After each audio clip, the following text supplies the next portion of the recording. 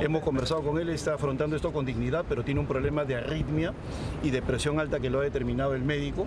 Es una situación obviamente que lamentamos y nosotros hemos exigido el pronunciamiento del ministro de Justicia Vicente Ceballos y del premier Salvador del Solar que nos digan si esto es legal o no para ver en qué medida se calibra la legalidad en el Perú. Si ellos dicen que es legal, pues que afronten las consecuencias. Pues de ninguna manera estamos eh, viendo en estos momentos un proceso justo.